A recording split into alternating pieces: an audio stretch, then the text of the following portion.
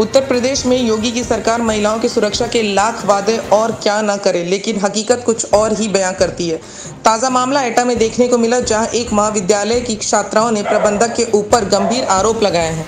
प्रबंधक पुलिस विभाग में ऊँचे औहदे पर है तैनात अपने अपने रसूख के चलते छात्राओं पर बनता है दबाव। इसी के चलते तंग होकर पीड़ित छात्र छात्रा जिला अधिकारी के आवास के सामने धरने पर बैठ गए। दरअसल पूरा मामला एटा जनपद के शकुंतला देवी महाविद्यालय की छात्राओं से जुड़ा हुआ है, जहाँ महाविद्यालय में पढ़ने वाली छात्राओं ने अपने विद्यालय के प्राचार्य पर यौन शोषण करने का गंभीर आरोप लगाया है। छात्राओं का आरोप है कि दबंग प्राचार्य द्वारा हमें बार बार अपने कार्यालय में बुलाया जाता है और हमसे फ़ोन करने के लिए भी कहते हैं। और ऐसा नहीं करने पर परीक्षा में नंबर कम देने की धमकी देते हैं। और छात्र छात्राओं ने फ़ीस से अधिक अवैध वसूली का भी आरोप लगाया है। इस पूरे मामले को लेकर जिलाधिकारी के आवास पहुँची और अपनी मांगों को लेकर धरने पर बैठ गई। वहीं इस पूरे मामले को अपर जिलाधिकारी ने गंभीरता से लेते हुए जाँच के आदेश दे दिए हैं।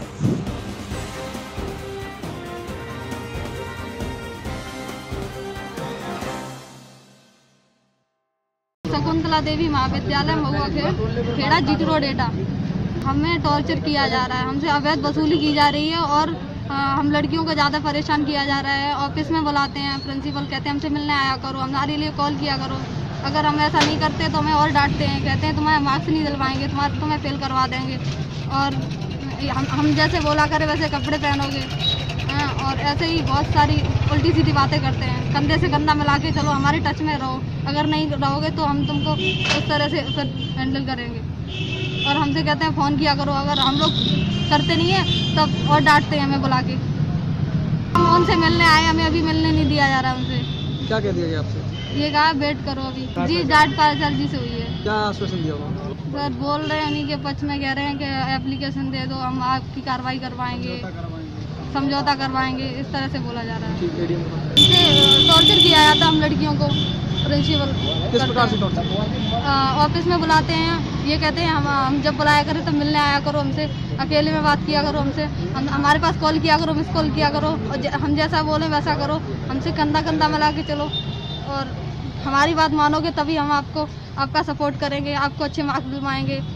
और सर ऐसे जीन्स पहन के जीन्स पहन के आया करो जब हम जैसे बुलाया वैसे कपड़े पहनोगे हम पर्सनली आपको मिलने के लिए बुलाया करे तो ब्रिजेश यादव। कौन है कौन है ये ब्रिजेश यादव? पता नहीं सर अपने आप को प्रबंध वो बताते हैं प्रिंसिपल प्रबंधक। हाँ सर पुलिस में पुलिस में कार्यरत महुआ खेड़ा। सब।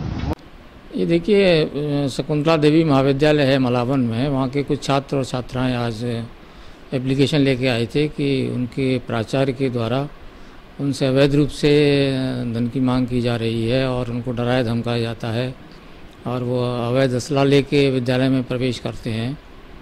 इसी बात को लेकर उन्होंने एक एप्लीकेशन दी है जिसके लिए प्राचार्य डाइट को और कप्तान साहब को उसमें कार्रवाई के लिए लिखा है।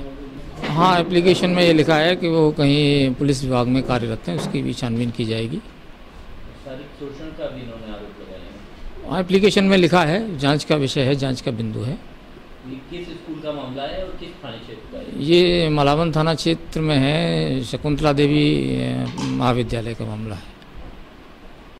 तर सिडकोने आणि पोलिसांनी इकडे लक्ष द्यावं.